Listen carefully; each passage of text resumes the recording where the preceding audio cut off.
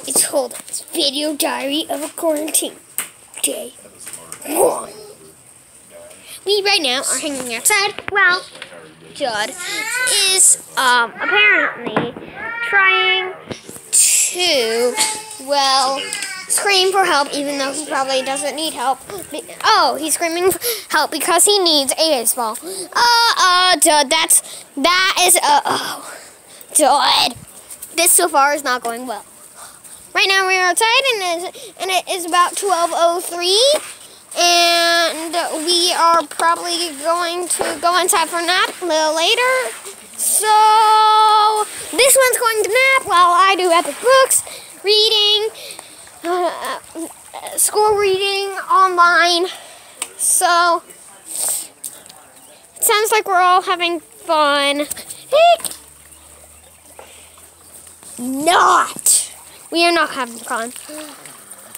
Looks like the wind is low. It's Tilly. Apparently the pool's running low. Judd is going to have to go get a ball. And we just planted our vegetable garden because uh, we just got our new dirt because our other dirt had grubs in it. So here it is. We have radishes right here and a big squash over there. I have some green beans over there, some carrots over here, so that's basically the sum of our garden.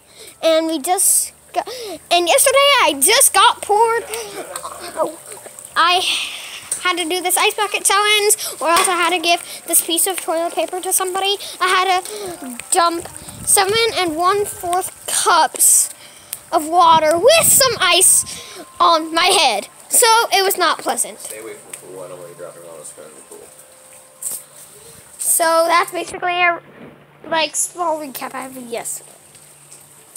Hopefully it'll be better. Yeah. Hopefully it'll be better another day. So here's Judd hitting the tree with a baseball bat for no reason. And also, um, we just got this new sandbox well, a sandbox. Because the quarantine is really stressing us out, and mom and dad just wanted to make the quarantine fun. So here it is. I know, it's messy, because we just played in it. So, yeah. Anyway, I hope your quarantine is going very fun, even though it probably isn't. So this is a video diary of Holden during a quarantine 2020. The end.